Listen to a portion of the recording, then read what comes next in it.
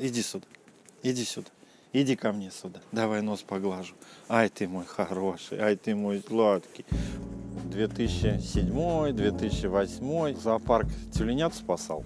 Наша коммерческая организация просто помогали. Фактически в России это вот самый первый центр по спасению ластоногих. И случайно к нам попал медвежонок. Потом следующие медведи, потом кто-то птицу привез.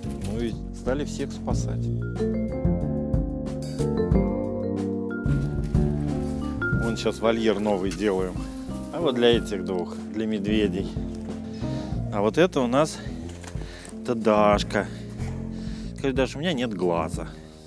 Мой знакомый, он мимо проезжал, а она к фуре была привязана, к, к цирковой на улице. Воды нет, ничего нет, клыки все выдраны. Позвонил мне, говорит, вот такая вот ситуация.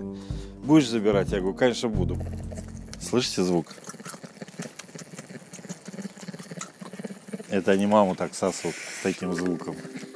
А вот люминька наша которые собаки-то задрали. У нее 60% тела было, как бритвой порезал. Ну, неделя, две было ей. Мать отогнали, ее загнали в, в, этот, в речку. Она уже тонула, рыбак ее вытащил. Два раза от нас уходила. Все, без сознания, без всего вытягивали. Видите, ухо вниз. Разодрано было, так и не поднялось. Скажи, ничего, это моя такая примета.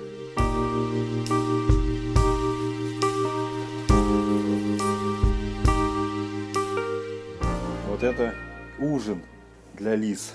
Творог, курица, чуть-чуть банана. Идут тут витамины добавляются, это рацион тут врач у нас разрабатывает. Вот он на стенке висит, что кому дать, кому сколько положить. Ну, у нас же все условия созданы, у нас своя операционная, мы же все делаем сами.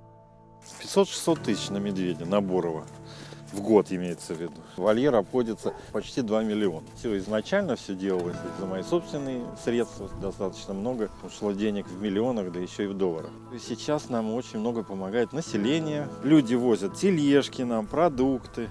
У нас э, помощь три вида. Это деньги, продукты питания, это руки. А вот наши северные олени.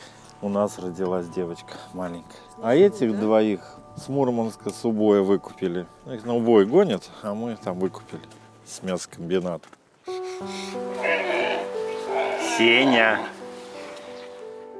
Сеня, ну он вообще медведь такой был особенный, ну у него была куча там заболеваний хронических, он жил в своей комнате, э, комната никогда не закрывалась, он выходил, уходил, когда ему это хотелось.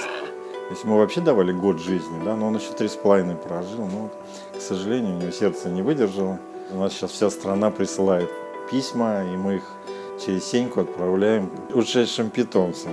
Справляется пока с своей функцией.